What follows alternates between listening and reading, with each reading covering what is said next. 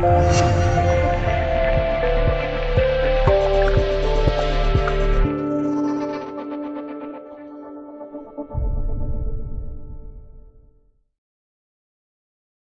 贵阳，有这样一位石匠，用二十年的时间建成了一座花溪夜郎谷，占地三百亩的奇幻城堡。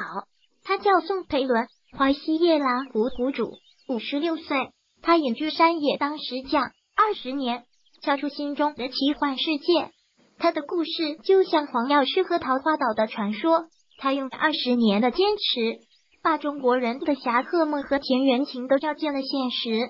图为夜郎谷谷主宋培伦，文雷虎图软传局宋培伦。图片来自东方 IC。华西夜郎谷萌生于一九九三年，宋培伦参观美国总统山时被震撼到了。震撼到他的不是那四尊总统头像，而是一个印第安家族三代人花六十多年时间建造的印第安英雄风马巨型雕塑。宋培伦被印第安人把愚公移山故事感动。他想起他一直关注的贵州少数民族，他们也如同印第安人一般，在强势文化渗透时，民族性慢慢消逝。